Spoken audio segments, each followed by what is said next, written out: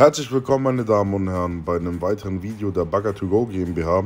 Heute möchte ich nochmal die separate Szene vorstellen, wo wir hier mit unserem Kata CT10 eine 340 Kilo Baumax-Rüttelplatte anheben und durch die Gegend fahren. Der Bagger wiegt leer 920 Kilo und die Rüttelplatte hat 340 Kilo Eigengewicht.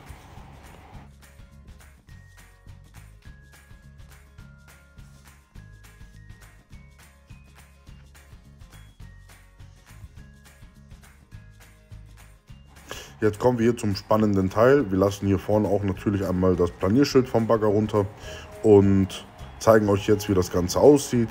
Wie gesagt, der Bagger, unser Kater CT10, hat leer 920 Kilo und die Rüttelplatte vom Baumax hat 340 Kilo.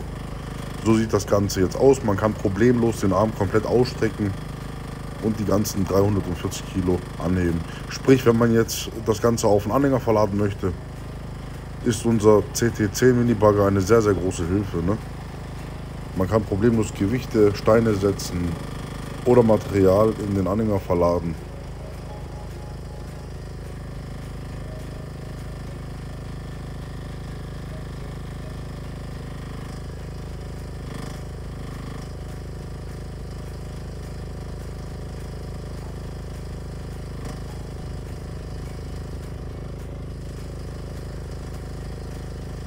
Jetzt kommen wir zur nächsten spannenden Sache. Das Schild haben wir jetzt weggemacht. Die Baumarktrüttelplatte hängt leicht über dem Boden. Und jetzt wollen wir mal testen, ob wir auch die 340 Kilo angehoben durch die Gegend fahren können.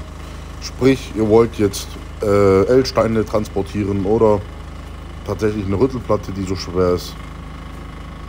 Wie ihr sehen könnt, stellt das alles auch kein Problem dar. 340 Kilo nach vorne, und das Ganze auch wieder zurück. Wie gesagt, im angehobenen Zustand, nicht schlecht auf dem Boden. Alles gar kein Problem. Unser CT10 ist wirklich ein sehr, sehr starker und robuster Bagger.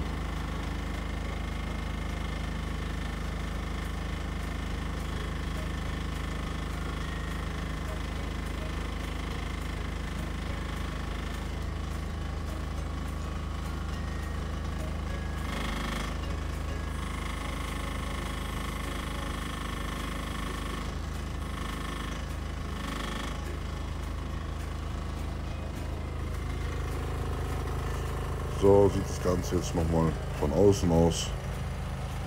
Also Gewichte heben mit unserem Minibagger. Ein wirklich sehr, sehr klein großer Helfer auf der Baustelle. Hier gehen wir nochmal ran an die Rüttelplatte. Wie gesagt, originales Typenschild mit 340 Kilogramm, die da jetzt einfach so mal dranhängen.